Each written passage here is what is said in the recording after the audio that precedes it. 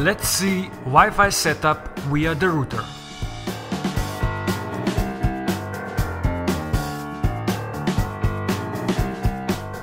To set up the printer using smart device, download the Canon Inkjet Selphy app from the iTunes or Google Play Store.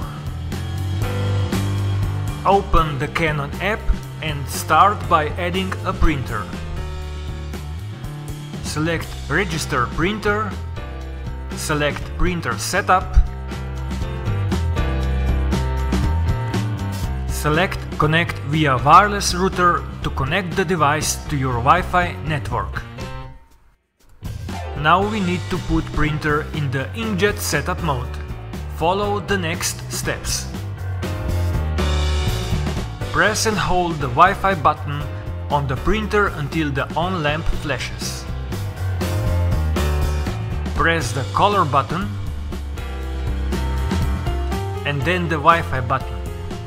Make sure that the Wi-Fi lamp flashes quickly and the on lamp is lit. On your mobile device, find Canon Inkjet Network and connect to the Pixma network. Return to the application screen and proceed with the setup. Select the Wi-Fi network to connect your Pixma 2 and enter the password for the Wi-Fi network. Lamps on the device become lit when settings are sent.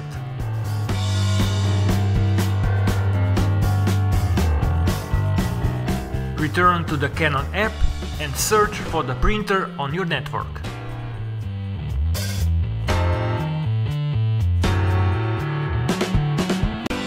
Image Runner, i-SENSYS, Maxify and Pixma printers are all discovered on the local network.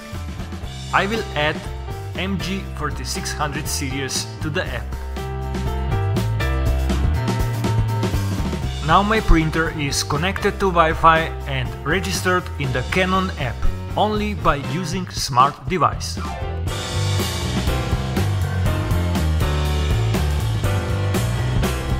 Thank you for watching and sharing. Bye.